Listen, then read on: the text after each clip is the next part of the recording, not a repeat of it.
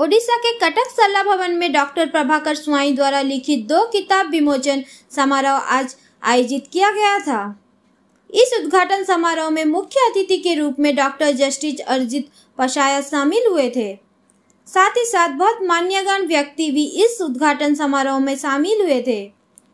कविता मुख्य स्रोत समाज के कल्याण के लिए होता है, ऐसा कविता के लेखक डॉक्टर प्रभाकर स्वाई जी का कहना था।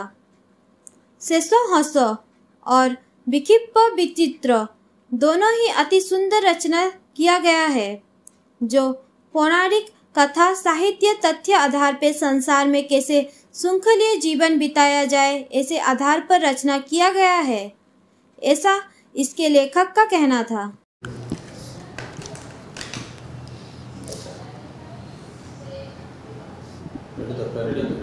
हम्म।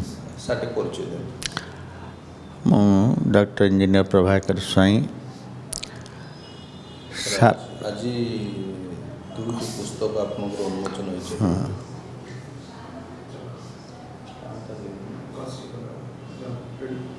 ସେ ଦୁଇଟି ପୁସ୍ତକ ଆଜି ଆପଣଙ୍କର ଅ, ଉନ୍ମୋଚନ ହୋଇଛି।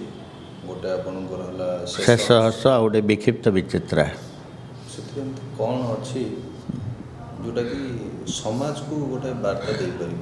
ଶେଷ ହସରେ ବହୁତ ତଥ୍ୟ ରହିଛି।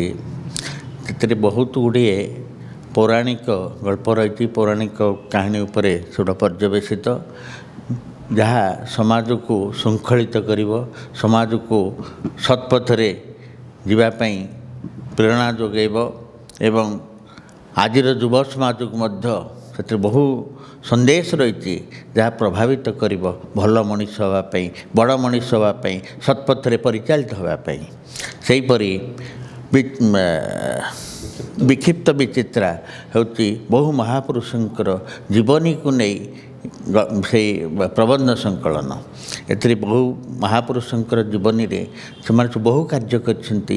ସମାଜ ପାଇଁ ମାନବ ଜାତି ପାଇଁ ସେସବୁକୁ ପଢ଼ିଲେ ନିଶ୍ଚିତ ଭାବରେ ଅନ୍ୟମାନେ ପ୍ରଭାବିତ ହେବେ ବିଶେଷତଃ ଆଜିର ଯୁବ ସମାଜ ପ୍ରଭାବିତ ହେବେ ଏ କିଭଳି ଦେଶ ସେବା କରିବୁ ସମାଜ ସେବା କରିବୁ ଏବଂ ସେଇମାନଙ୍କ ଭଳି ବଡ଼ ମଣିଷ ହେବୁ ଖ୍ୟାତି ଅର୍ଜନ କରିବୁ ସାର୍ ଆଜି ମୁଖ୍ୟ ଅତିଥି ରୂପେ ଏ, ଅରିଜିତ ପ୍ରସାଦ ଯୋଗ ଦେଇଛନ୍ତି ଏହା ମ- କେଉଁଭଳି ଭାବରେ ଏ, ସିଏ ଆପଣଙ୍କ ସହିତ ଜଡ଼ିତ ସେଇଟା ଟିକେ ସାର୍ ଆମେ ଜାଣିବା ପାଇଁ ଚାହିଁବୁ। ନାଇଁ ଜଷ୍ଟିସ୍ ଅର୍ଜିତ ପ୍ରସାଦ ସାହିତ୍ୟଙ୍କର ସାହିତ୍ୟ ପ୍ରତି ମଧ୍ୟ ଗଭୀର ଅନୁରାଗ ରହିଛି ଅନୁରକ୍ତି ରହିଛି ତାଙ୍କର ପିତା ମଧ୍ୟ ଜଣେ ଲେଖକ ଥିଲେ ଏବଂ ଜଣେ ଏ, ସମ୍ପାଦକ୍ଷ ସମ୍ପାଦକ ଥିଲେ।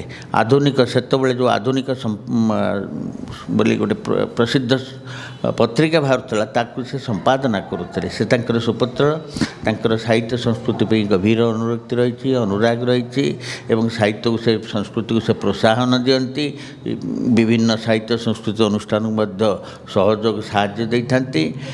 ଏବଂ ସେ ମୋର ପ୍ରେରଣାର ଉତ୍ସ ବିଭିନ୍ନ କ୍ଷେତ୍ରରେ କେବଳ ସାହିତ୍ୟ କ୍ଷେତ୍ର ନୁହେଁ ବିଭିନ୍ନ କ୍ଷେତ୍ରରେ ସେ ମୋର ପ୍ରେରଣାର ଉତ୍ସ ମୁଁ ତାଙ୍କର ତାଙ୍କ ଜୀବନକୁ ମୁଁ ସବୁବେଳେ ପର୍ଯ୍ୟାଲୋଚନା କରେ ଏବଂ ତାଙ୍କ ତାଙ୍କ ତାଙ୍କ ଭଳି ତ ମୁଁ ହେଇପାରିବି ନାହିଁ କିନ୍ତୁ ତାଙ୍କୁ ଅବଲମ୍ବନ କରେ ଅନୁସରଣ କରେ ତେଣୁ ସେଥିପାଇଁ ତାଙ୍କୁ ଆଜି ଉତ୍ସବରେ ମୁଖ୍ୟ ଅତିଥି ରୂପେ ଯୋଗଦାନ କରିବା ପାଇଁ ମୁଁ ନିମନ୍ତ୍ରଣ କରିଛି ବା ଅନୁରୋଧ କରିଛି।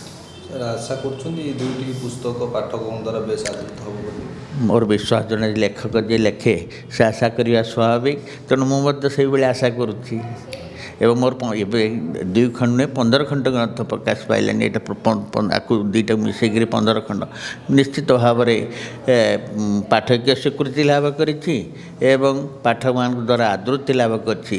ଯାହାଫଳରେ ମୁଁ ପ୍ରାୟ କେନ୍ଦ୍ର ସାହିତ୍ୟ ଏକାଡେମୀ ଅନୁବାଦ ପୁରସ୍କାର ସମେତ ବହୁ ମର୍ଯ୍ୟାଦାଜନକ ପୁରସ୍କାର ପ୍ରାୟ ଚାଳିଶଟି ମର୍ଯ୍ୟାଦାଜନକ ପୁରସ୍କାର ଲାଭ କରିପାରିଛି ହେଲା